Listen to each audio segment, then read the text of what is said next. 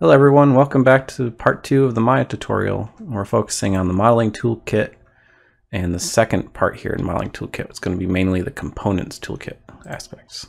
So we're going to make a cube by just clicking up on the cube. We're going to scroll in, zoom in here. And we're going to start by focusing on extrude. So we're going to right click, or if we want, we can go over here and select faces. Click the face we want to extrude, hit the extrude button. And here we can either manually extrude it by sliding this thickness here. And this, this will work as well in the Z translate. And also we can do offset, so if we want to expand it out. So you could use this if you kind of know the, the numbers that you want to deal with. Also you could add divisions, so kind of the points in between. But say we just want to leave this all kind of normal standard stuff, and we're just going to put it back to zero. And we're just going to manually extrude it out. So say we wanted to create like a torch. Maybe we'll extrude this up, hit another extrusion, and from here we could, uh, if you wanted, you could expand it out in different directions using these, or if you want, you could just grab from the center and extrude it out like that. And then once you have that in place, you'd hit extrude again and pull it up. This would be kind of like a Minecraft torch, sort of. And we're gonna hit extrude again. One thing you do want to make sure you don't do is if you accidentally hit extrude twice, like that, it'll look like you didn't extrude twice. But if you go in here and go to edges and select the edges, oh, we have that snap on. So let's let's go back in here and turn snap off. If you look in here, there actually is two extrusions. You'll start getting weird geometry like that. So we're just going to undo that. Back to here and we have our extrusion. And we're to, this time we're going to extrude inwards. And you can hit the R tool for scale and use extrusions that way. But actually I'm to turn snap off again. Extrude it in. Extrude one more time. And then pull it down.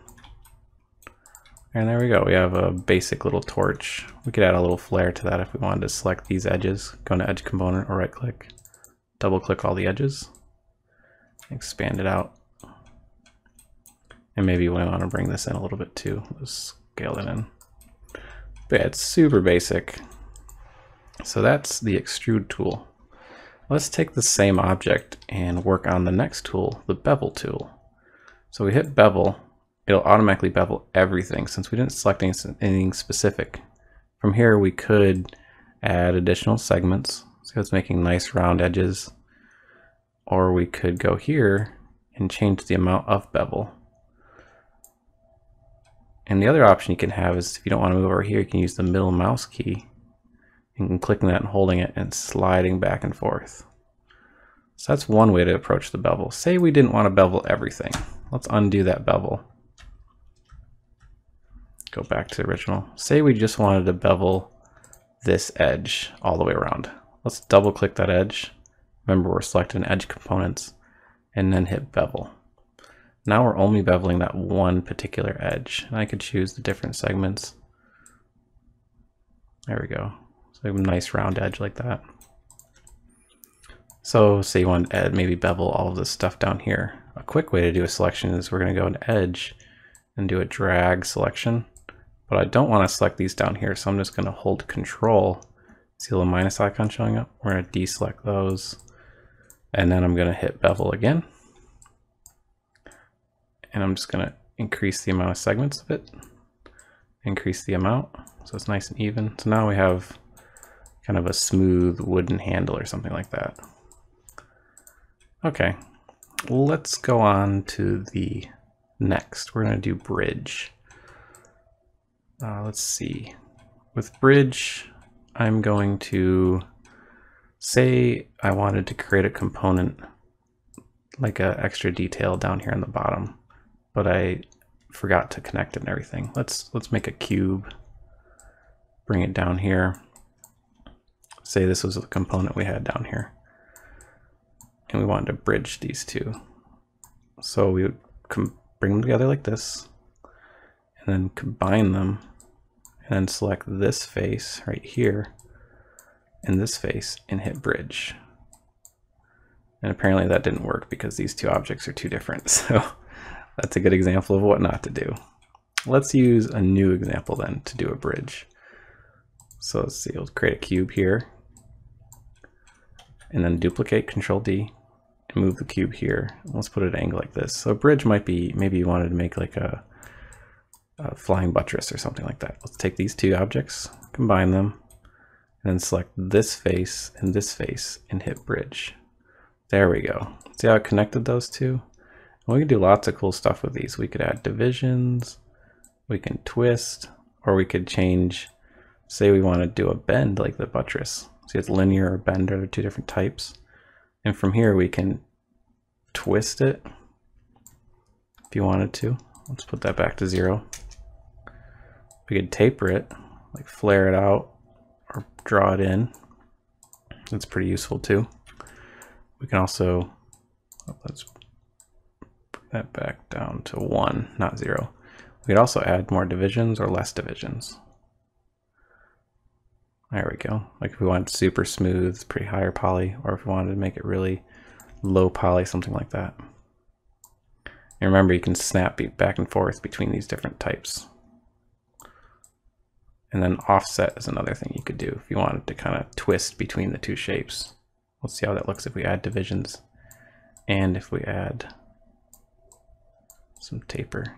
So that's kind of interesting. Offset apparently does not work very well if you're doing those two. So you're going to end up with some weird stuff if you combine too many of these. But I'd recommend doing a curve with no offset. It's going to look nice. And then if you add multiple divisions, there we go. Remember, we have to bring these back. Sometimes zero isn't the correct number, but we want to put this back to a one. And I'll put twist to zero. There we go. So that's some other great things you can do. Okay, and let's move on to divisions. Let's create another cube, move it over here, zoom into it. So divisions are super simple. You can just, if you add divisions, it's basically subdividing the surface, but it's not smoothing. Remember we did smooth? Let me show the difference between divisions and smooth. So here's a divided cube. Let's take the same size cube, pretty much identical cube, and we're gonna hit smooth and add divisions to a smooth. So look at the difference you get by doing a smooth with divisions and just plain divisions. Kind of a Rubik's Cube versus sort of a soccer ball shape or something.